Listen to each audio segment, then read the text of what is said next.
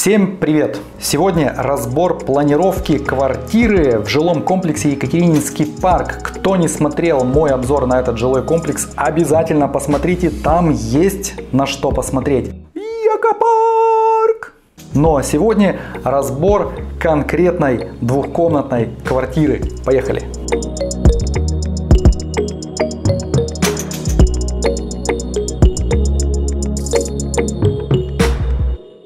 Эту квартиру я разрабатывал для молодого человека, который живет пока один. Он фрилансер, работает из дома, а соответственно ему нужно дома в первую очередь предусмотреть комфортное рабочее место. Во вторую большое общее пространство, где можно встречать гостей и возможно будущую невесту. Ну а для этих дел, конечно же, нужно отдельно предусмотреть спальное место с большим гардеробом для нарядов и, естественно, ванной. Что предлагает нам застройщик? Он предлагает нам стандартную двухкомнатную квартиру с небольшими комнатами. Давайте посмотрим. Прихожая 8 квадратных метров, она правильной квадратной формы и в общем-то даже все здесь неплохо. Идем дальше, попадаем в небольшой коридор. Ребята, по возможности от них нужно избавляться. Есть две жилые комнаты 14 метров и 16 метров с гардеробной и с одним единственным санузлом, в котором предлагают нам разместить ванну, унитаз, раковину и там же стиральную машину. Ребята, это катастрофа, ванной и стиральной машины быть не должно. Но ничего, будем ситуацию исправлять и я покажу, как это можно все сделать красиво, эстетично и удобно. А здесь есть также большая кухня, в которой предлагается сделать и кухню, и столовую, и э, диван с телевизором. Сразу же обращаю внимание, что диван здесь почему-то для карликов, как обычно рисует застройщик, он здесь просто-напросто очень маленький. Смотрите сами. Кухонный гарнитур глубиной всегда 60 сантиметров. И если мы спроецируем две линии от кухонного гарнитура, то увидим, что диван глубиной 60 сантиметров. Это мало, так не бывает. Он глубиной обычно сантиметров 80-90, то есть выступит вот сюда. Ну и, конечно, большего размера, если вы хотите нормальный двухметровый диван. Якопарк! Бокс с этой планировкой, она, конечно же, неудобна, конечно же, она не годится для нашего героя, а, потому что если предположить, как он будет пользоваться этим пространством, то нетрудно догадаться, что в основном использоваться будет одно большое общее пространство. Это кухня, это гостиная и место, где он будет работать. Что получилось? Давайте смотреть. Итак, чтобы сделать эту квартиру удобной, пришлось перекроить все пространство. В итоге у меня получилась э, большая просторная гостевая комната с кухней и с рабочим местом. Отдельная спальня, в которую не будут заходить гости. В этой спальне есть и спальное место, и гардероб, и душевая. И еще получился гостевой санузел. А, итак, что мне пришлось для этого сделать? Ну, во-первых, я снес стену между кухней и жилой комнатой, которая 14 квадратных метров, а также еще и присоединил коридор к жилому пространству. Не нужен нам коридор в такой маленькой квартире для одного человека. Благодаря этому получилось одно общее большое просторное, светлое пространство, в котором и будут разворачиваться основные, так сказать, жизненные сценарии этого молодого человека. Что же я сделал? Во-первых, в прихожей я предложил ему оставить один шкаф 2 метра. Это более чем достаточно для одного и даже для двух человек, ну, когда он найдет свою суженую. А на противоположной стене, чтобы не загромождать это небольшое пространство бесконечными шкафами, я делаю консоль и пуф. На консоль удобно поставить сумку, положить ключи, а на пуфе удобно сидеть и зашнуровывать обувь. Из прихожей прихожей мы выходим и сразу же попадаем в, общее, в общую комнату. Справа у нас так называемая диванная группа. Попросту это диван прямой формы, примерно 2,30 длиной. Это значит, что мы можем на нем вытянуться и даже подремать. А при необходимости расправить его и положить гостей на нем переночевать. Ну, вдруг э, гости задержатся, останутся, захотят переночевать, вот, пожалуйста. Напротив него телевизор и за диваном около окна обеденный стол, круглый, он небольшой, но при желании его можно расправить. И напротив стола камин, который так э, желал заказчик. Э, таким образом, в этой небольшой комнате, раньше которая была небольшая комната, удалось расположить и диван, и обеденный стол, и камин, и телевизор. Посмотрите, сколько функций выполняет это пространство.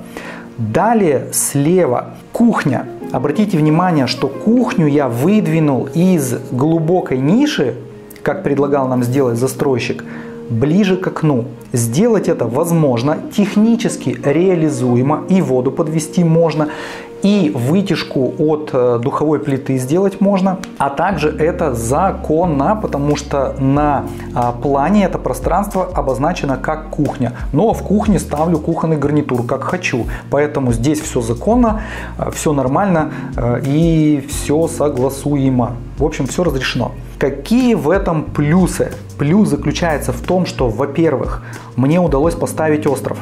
А, как мы помним, остров это большой кайф на самом деле при готовке. Вот вы попробуйте где-нибудь или сходите к кому-нибудь в гости, и вы, вы убедитесь в том, что э, остров это невероятно удобно и кайфово. Второе, эта кухня прекрасно освещена, потому что она ближе к окну. Ну, знаете ли, готовить в нише, вот где-то там, в глубине комнаты, где нету солнечного света, нету никакого удовольствия, а соответственно и блюда получаются невкусными. Ну, хочется побыстрее что-то там нарезать и сбежать. Да и плюс к тому, то, как предлагал застройщик, размер этой кухни очень маленький, то есть поверхности для готовки фактически нет. А если представить, что у нас будет чайник, тостер, э, микроволновка, там блендер какой-нибудь, ну и так далее, оборудования достаточно много может быть на современной кухне, то и вообще приходим к мнению, что готовить на кухне от застройщика невозможно. Ну, то есть совсем не в кайф. Якопарк! Итак, с кухней определились, а что же в той нише, где раньше была кухня? А вот как раз туда я предлагаю поставить рабочий стол. Ведь наш главный герой э, работает из дома, и ему необходим дома кабинет. Этот кабинет не должен быть большим, ну, как знаете, у старых советских начальников номенклатурные кабинеты 60 метров с совещательными столами, с курительными и мягкими зонами. Нет, совершенно нет нужен удобный большой стол, на котором стоит монитор, клавиатура и вот так вот онлайн человек работает. Нужен стеллаж для какой-то литературы, книг, папок, э, ну в общем-то каких-то рабочих э, вещей, там принтер может быть поставить. И этот стеллаж очень удобно расположился за столом. И поэтому не вставая с места можно повернуться и со стеллажа достать все что угодно, распечатать может быть э, все что нужно.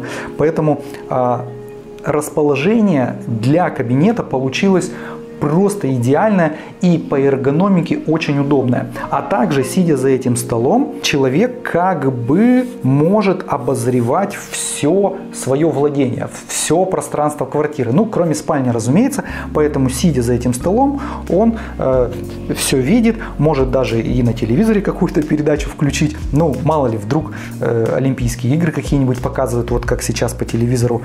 А, ну, или просто в окно посмотреть. А при желании, если вдруг нужно уединиться, ну мало ли такой случай настал, есть шторочка, которую можно потянуть и, собственно, обособить это место под э, работу. Между кухней и диваном я поставил такой некий стеллаж. Э, это легкий э, прозрачный стеллаж, на котором могут стоять растения, на котором можно поставить какие-то бокалы, на который даже можно поставить видеопроектор и проецировать фильмы на стену вместо телевизора может быть огромный экран, и у вас будет дома домашний кинотеатр. Это же круто, друзья. В общем, вот такая многофункциональная штуковина получилась. А если вам не хочется стеллаж между э, гостиной и кухней, не делайте этот стеллаж. Просто поставьте диван э, ближе к острову э, и при желании вы сможете диван отодвигать, вокруг острова ходить. В общем, много всего интересного здесь может развиваться вот в этом пространстве.